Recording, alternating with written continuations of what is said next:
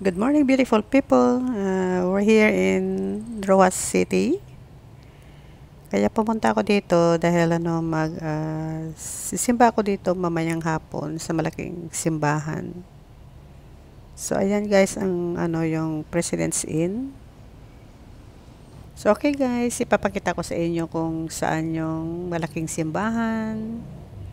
Ayan. Diyan ako mamaya magsimba mamayang hapon. I think ang mas nila is 4 o'clock or 5. Tapos sabi mayroong 6. So, ayan. So, mag-overnight ako dito sa President Roas. Yan ang hotel na inistihan ko. Halaran Plaza. Ano siya guys, yung old building. Yan ang gusto-gusto ko, yung mga old na ano, yung, yung na may pagka-antique. So, ayan sa tabi, may Korean restaurant. So, dyan ako magla-lunch. Magla-lunch muna tayo kasi ano na siya, 12 o'clock. So, we're here inside. Ayan. Nag-crave kasi ako guys ng ano, ng Korean food. So, ayan ang ating side dish. I think that's kimchi, cabbage. So, yan ang order ko, yung bibimbap. It's only 250 pesos. And meron tayong sushi roll ta. Yan. So, let's eat, guys.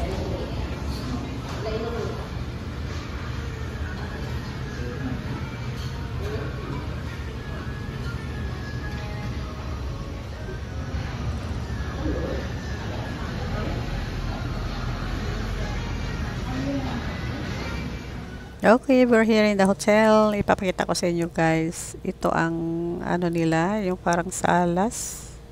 Yung sa itas ito guys, tan yan ang ano, yung mga display nila. Yung, ano siya guys, mga old uh, ano.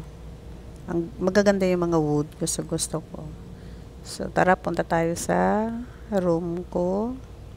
Tutor ko kayo. Ayan.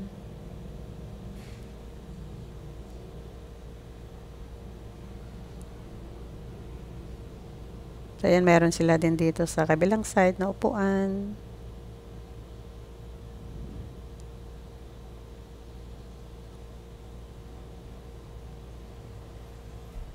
Ito yung room ko, guys. Ayan.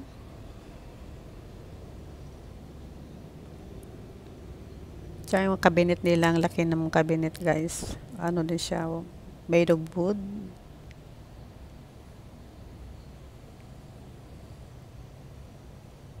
Yan ang upuan. May dalawang kama. Malaki siya guys.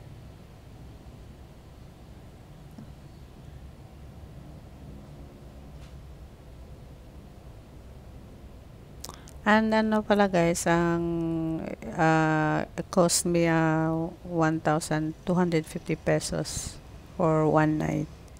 Kaya yan ang dala ko pang overnight lang.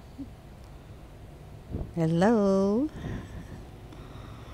Malalaki yung mga mirror nila dito. So this room guys, uh, good for two people or three. Ayan. So tapos meron silang balcony.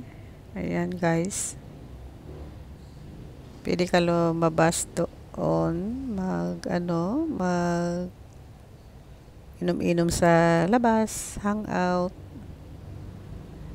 Ayan.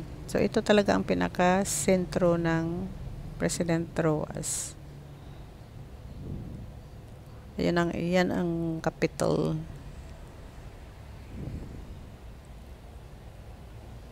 Tapos, mamaya, maglalakad ako punta doon, magsimba. Yan ang, ayan ang ano nila guys, yung at tawag nila dyan, Rizal Park.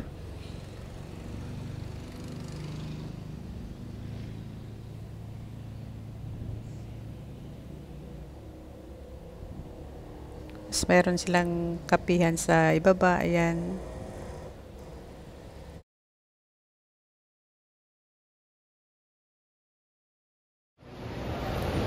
Ayan guys. Uh, katatapos lang ng misa.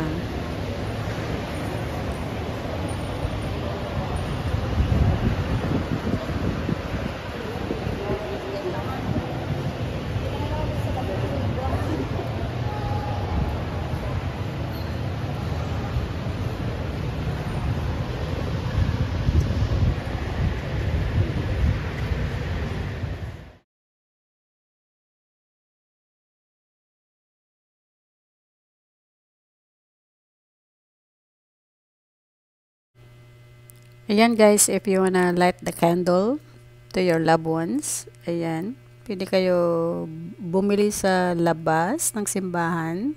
Ating ano siya yung 3, 4, 5 pesos. Ayan, oh, mayroon din dyan sa loob na nagtitinda. Pero mostly sa labas, marami, maraming nagtitinda ng ano ng kandila. So, ayan. After ng misa, pwede kayo pumunta dito.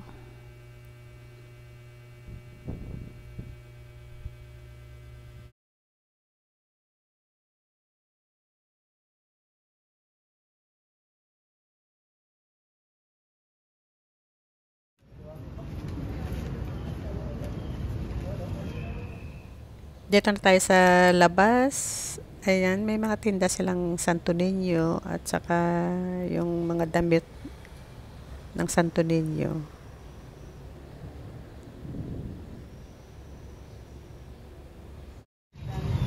Yan guys, may mga street food din silang mga tinda. So, titingnan natin.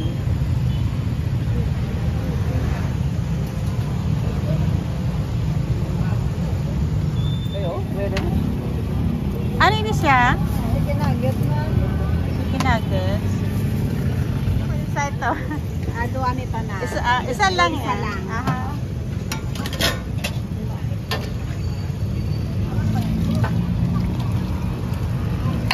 Okay lang?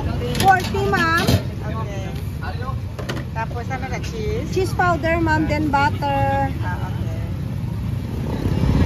Masarap yung mais nila. First time kong kumain na may ano, may cheese powder. Ano siya malinamnam, guys. Ayan, tara na eh pasyal ko kayo. Ano na siya, madilim na siya guys kasi natapos ang misa 6 something na. So, ayan. So, to be honest guys, first time ko dito naglalakad ng ano, ng gabi. So, first time ko nakita yung mga ano dito, yung mga ilaw. Ah, tawag nila dito is uh, Rizal Park. So maraming ano, may mga bata naglalaro. Buti na lang maano, ma ano siya guys, mahangin, hindi siya mainit. Usually uh, month ng March mainit na pero hindi siya guys mainit dito. Maano siya malamig ng konti. Dahil yung ano, yung breeze ng hangin. So, ayan, ah, pa, ano, pauwi na tayo sa, ano, sa hotel. Ayan, guys. Malapit na tayo.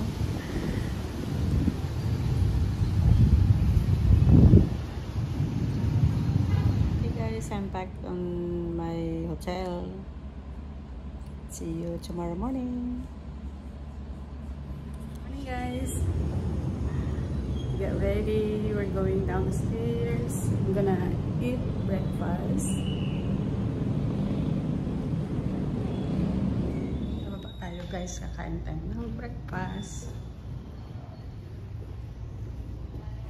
This is what I like uh, na bahay, yung made wood.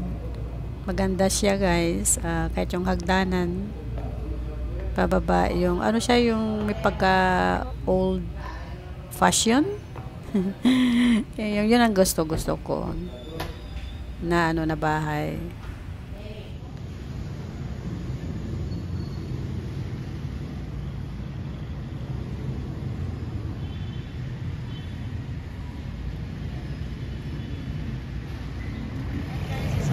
It's a busy morning. Ayan, uh, it's Monday and everybody go to work, goes to work. And yung mga estudyante, pumapasok sa school. And kaya busy-busy guys ang ano. Our breakfast, longganisa, rice and eggs, and coffee.